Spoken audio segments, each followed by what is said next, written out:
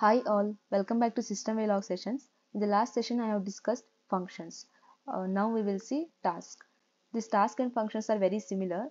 The major difference between task and function is in function we have seen that uh, the function cannot consume any timing delay or uh, it should not contain any time controlled statements, right? But in System Verilog allows you to insert this timing delay or time control statements in task. So the definition goes like this a task that may or may not consume simulation time returns values as output or in-out argument type and may or may not take arguments.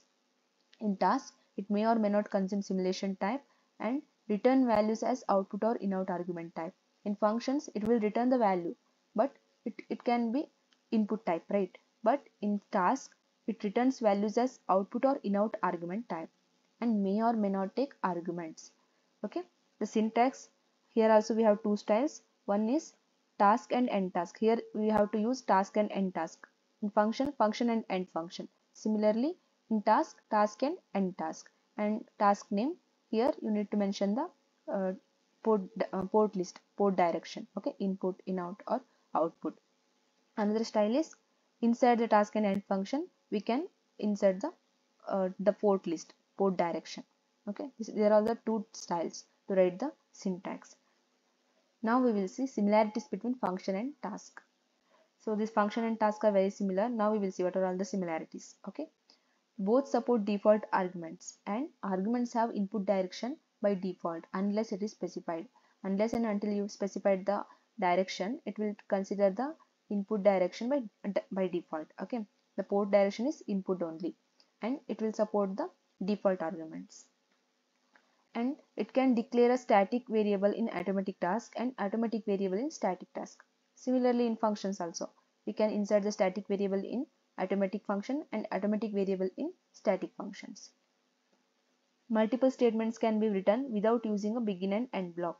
This point is uh, I have not mentioned in function but in Verilog if multiple statements are there we need to use the begin and end but now now it is also removed from the Verilog also in 2005 so because this function and end function task and task is by the function itself is a one block right? Begin and end. In the statement only in the syntax only it has function end function task end task. So why we need one more begin and end? So that's why they removed so multiple statements can be written without using a begin and end block in system verilog. The default argument data type is logic unless it is specified. Here the argument data type default argument data type is logic. And passing value by name reference value and position is allowed. Similarly in functions also we can pass by the value pass by reference and pass by position and name right? So similarly in task also we can pass the arguments by value by reference by position and name.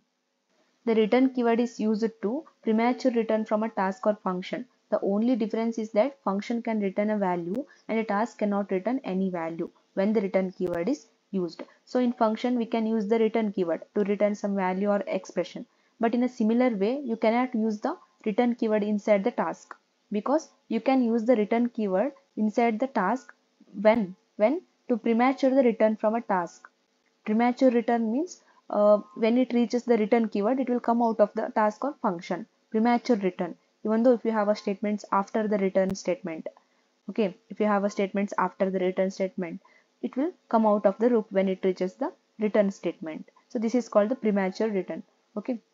So you can use the, the return keyword to premature the return from a task, but you cannot use the return keyword to return some value or expression like a function. Okay, this is the one thing you need to remember. This is the difference between function and task. Okay.